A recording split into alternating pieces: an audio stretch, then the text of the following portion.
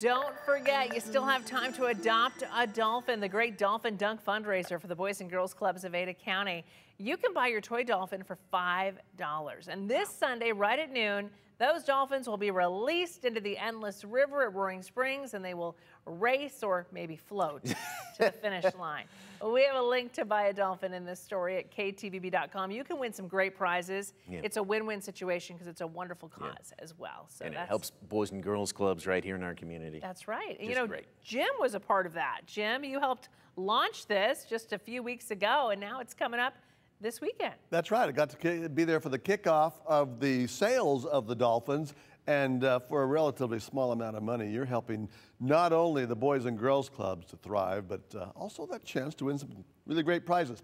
Meanwhile, kind of dolphin weather today, lots of moisture around the area, but not much falling here in the Treasure Valley. Lots of clouds overnight and a few sprinkles this morning, and 70 right now with west winds at 6 miles per hour. You can smell the rain out there, and the humidity level is up 76%, which is even high for a morning here in Boise. All that moisture coming up out of the southwest, mainly over into Oregon yesterday, shifting eastward as we told you it would, and it's spreading throughout Idaho now. And moderate showers have been drifting up through extreme eastern Oregon and just west of the Idaho border throughout the night and early morning hours, and now moving across the Idaho state line. And showers have brought some sprinkles to the Treasure Valley. But what we find is that while most of the shower activity in Oregon is heading now drifting into the west central mountain areas, what's coming up toward the Treasure Valley gets blocked a lot by the Owyhee mountain range in the south southerly flow, and so we get a few sprinkles passing overhead. That's about all that we'll be seeing for most of the day. Over the Magic Valley, though, it will gradually increase coming around the mountains, up out of Nevada, and into the Magic Valley and central mountain areas where moderate to heavy showers are possible at times as thunderstorms increase.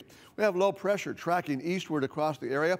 That trough will enhance the shower activity through the afternoon. And then as it moves farther east by tonight and tomorrow, drier air begins working into the Treasure Valley, and we get back to some sunshine and hot conditions for the next couple of days, while some lingering showers and thunderstorms will persist over the mountain areas and the Magic Valley for the next couple of days.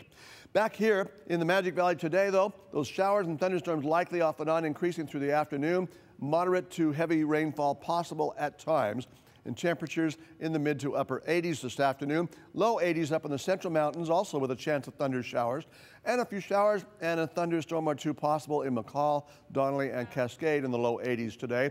Treasure Valley, mostly cloudy with a few sprinkles and isolated afternoon and evening thunder showers. Low 90s today. 91 degrees in Boise. But then by tomorrow, we see morning lows in the low 70s for the next couple of days as daytime highs get back into the mid to upper 90s with more sunshine tomorrow and Friday and stay in the mid 90s through early next week.